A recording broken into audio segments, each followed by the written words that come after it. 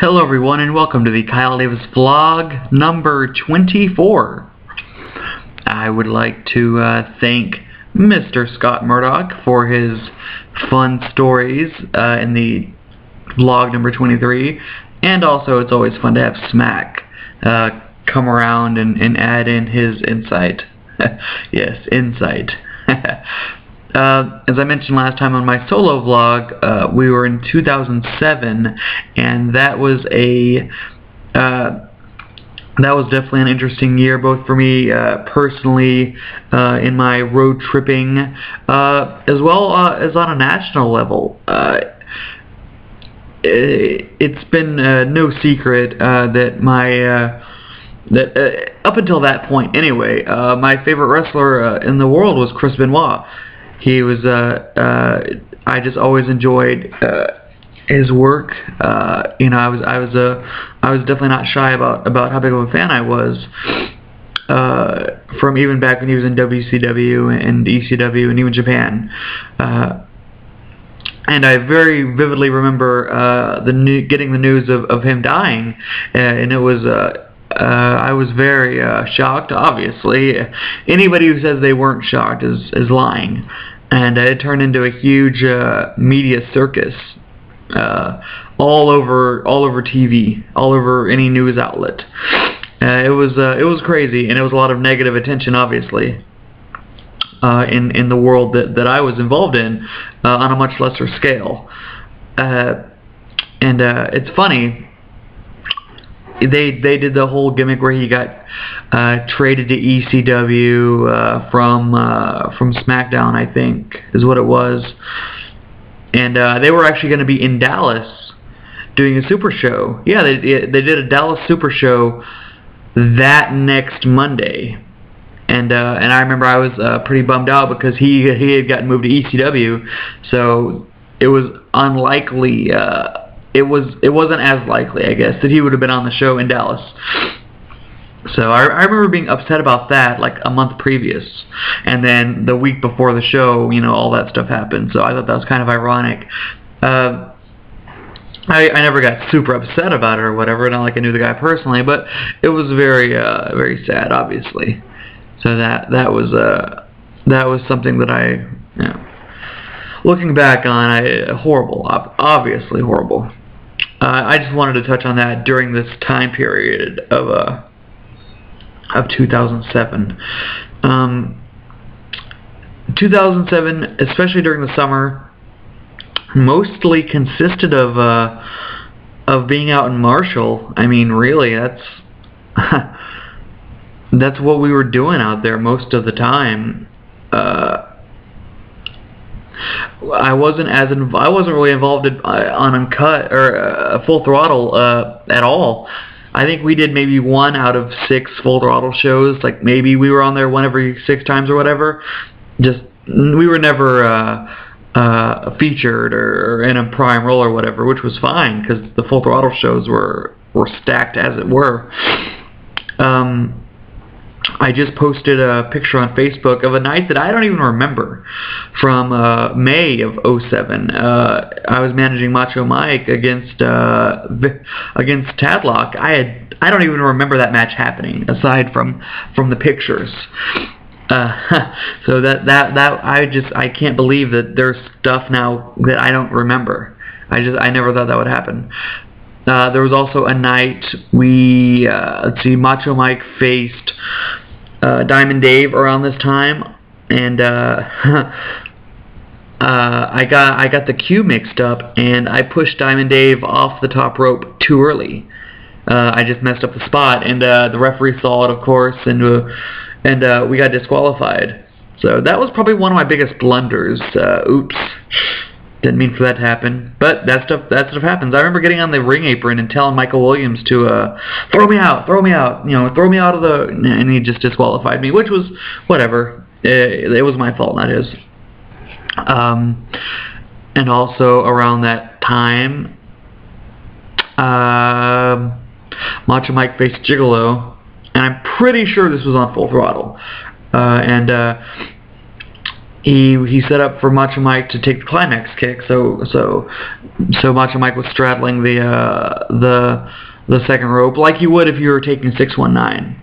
And uh, and I took the drop toe hold too, and I was me and Macho Mike were like this side by side, you know, in the 619 position or whatever.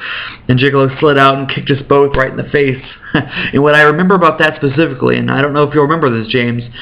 Uh, the only time I w- the only time I ever uh, I ever thought uh, that James might be upset with me, like legitimately, and it was an accident, of course, was uh, I think two previous two previous occasions on Uncut, uh, I missed a dive by Diamond Dave just for stupid uh, stupid mistakes. Uh, one of them is actually on YouTube.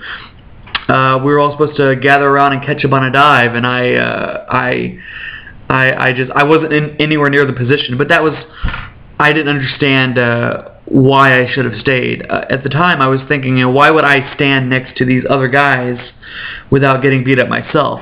You know, so that's why I wasn't standing near them.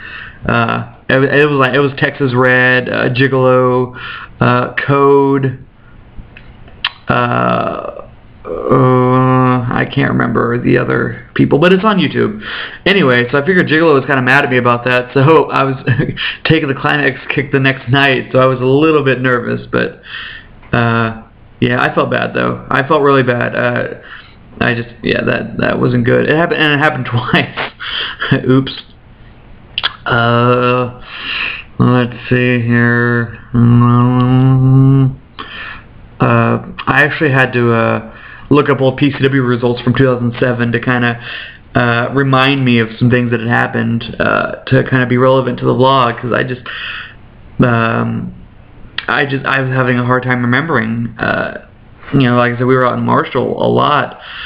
Um, we did uh, we did the Civic Center show in July on a Friday night, an actual Friday night show.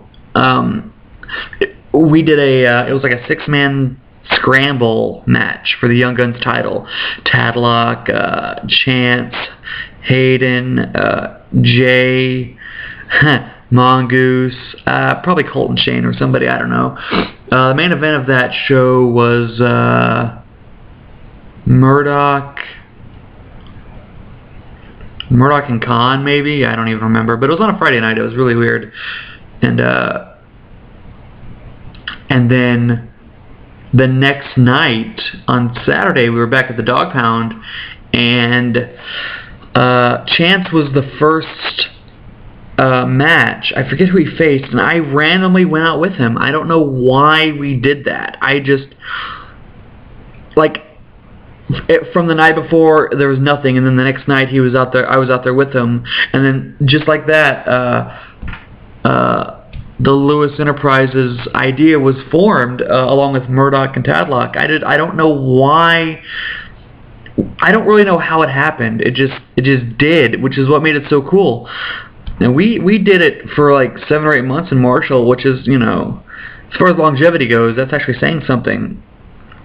And uh, it wasn't close to to the fun I had at SPW, but uh, with me, Chance, and and uh, Murdoch and Tadlock, it was such a dynamic of three completely different people that meshed well so so well together. And I wish we could have done so much more with with that. Uh, I, I had a lot of fun uh, doing that specifically. Uh, there there's a I don't know. I, I guess there's just something to be said for things just working without it being planned. Uh, you know. It, that we kept that going up until the next Civic Center show, where Chance faced Cordova in a hair versus hair match. Uh, and Tadlock, Murdoch, and Spoiler faced uh, New Age Dog, Dalton, and Khan. And uh, that was, I think that was the last big ACW Civic Center show. They did one recently, like on a Tuesday night or something, but eh, the crowd looked horrible from what I saw. So that is where I will uh, go in next time with the uh, Lewis Enterprises edition of of uh, the Kyle Davis vlog, which will be number 25. So it's our silver anniversary. If this were WrestleMania, we'd be going to Houston. so I'm looking forward to uh, to uh, discussing Lewis Enterprises specifically, something that I really, I really uh, enjoyed and, and that's very special to me.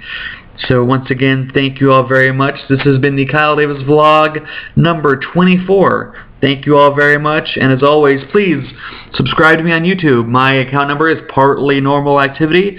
My name on Twitter, of course, Lance Hardwood 25. I'm trying to get to 200 followers, at least by March. So that shouldn't be hard to do. Come on, Lance Hoyt has like 20,000, so that'd be great. So anyway, guys, thank you all very much, and I will see you soon.